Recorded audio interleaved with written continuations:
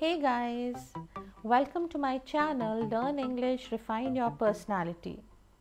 To help you learn good English and to improve your English language, guys, today I've brought some easy peasy tips for you. Or, ha, hold on, there's a secret tip as well, which I will be sharing with you towards the end of the video. So, please watch the video till the end and बहुत सारे interesting और exciting tips आज मैं आपके लिए लेकर आई हूँ guys so so, बहुत सारे लोग मुझसे अक्सर ये पूछते हैं फ्रेंड्स कि फ्लुएंटली इंग्लिश बोलने के लिए क्या करना चाहिए?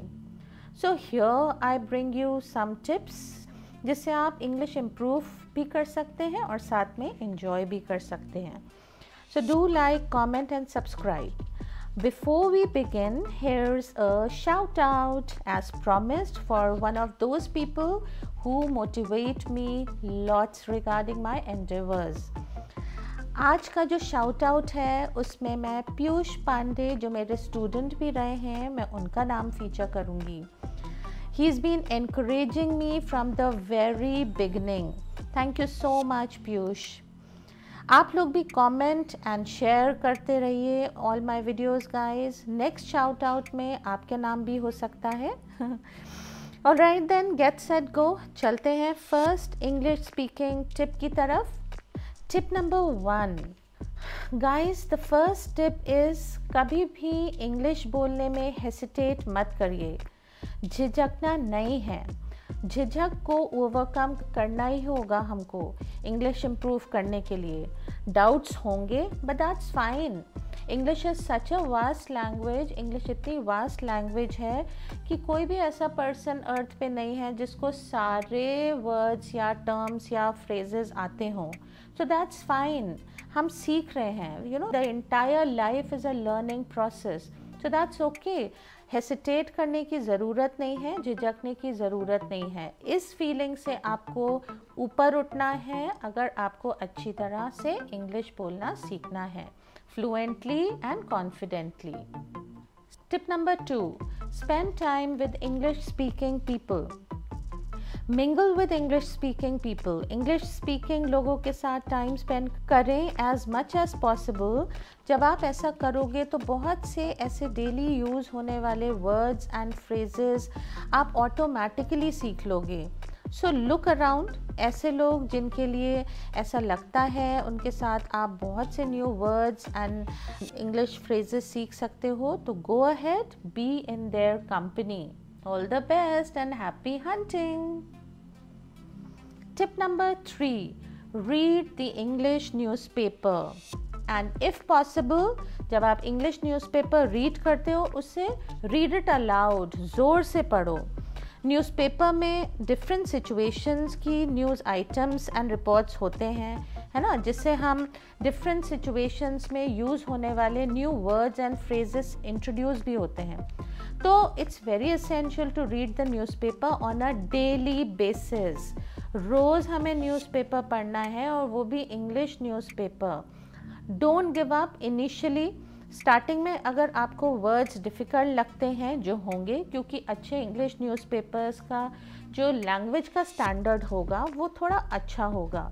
बट ग्रेजुअली धीरे धीरे you will feel confident and these phrases and words will come easy to you maintain a diary or a journal It is very essential to maintain a record of the new words and phrases which you learn. जो भी new words and phrases आप learn कर रहे हो every day उनको एक diary में, एक जर्नल में ज़रूर मेंटेन करके रखें और इन वर्ड्स के साथ इनका मीनिंग भी लिखें एंड फॉर एवरी वर्ड और एवरी फ्रेज़ दो सेंटेंसेस फॉर्म करें, जो आपने न्यू वर्ड सीखे हैं एंड इन दोनों सेंटेंसेस को डायरी में लिखें। इसके साथ ही बहुत ही इंपॉर्टेंट है कि आपके पास इंग्लिश टू इंग्लिश डिक्शनरी भी होना चाहिए। और ये जो डिक्शनरी है, इसको आप रेफ़र ज़रूर करें।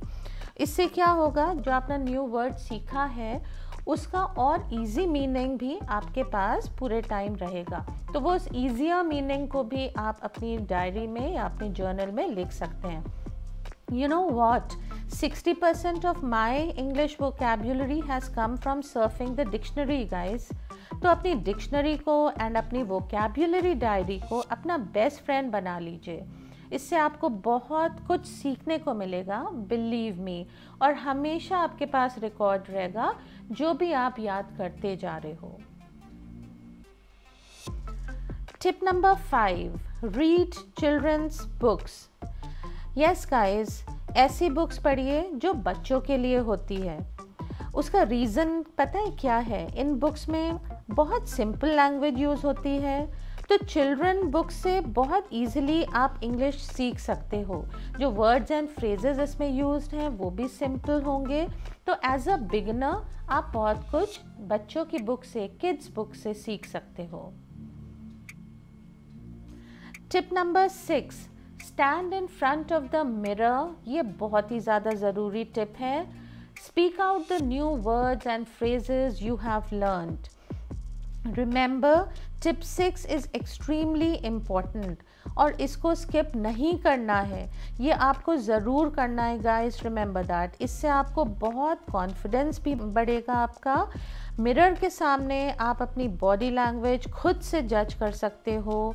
मिरर के सामने आप वो वर्ड्स एंड फ्रेजेस बोलिए जो आपने लर्न किए हैं। It will help in pronunciation too इसके साथ ही आप बहुत ही सिंपल बिगनर्स वाले टॉपिक्स जैसे myself my mother my country my favourite movie in topics पर भी वन या टू मिनट्स के लिए बोलिए in English of course this will help you gain a definite and tremendous boost where your confidence is concerned. Tip number seven repeat the learned part to gain fluency in spoken English. Yes, guys, be consistent. Meaning, हमें learning process जो हमने English learn करना start किया है उसको हम daily करेंगे रोज़ करेंगे which means new words and phrases या जो भी टॉपिक पर आप मिरर के सामने बोल रहे हो रिपीट करना एक्सट्रीमली इंपॉर्टेंट है जब तक वो वर्ड्स टर्म्स आपको याद ना हो जाए या फिर वो टॉपिक्स जो आप मिरर के सामने बोलने की कोशिश कर रहे थे, तब तक आपको रिपीट करते रहना है।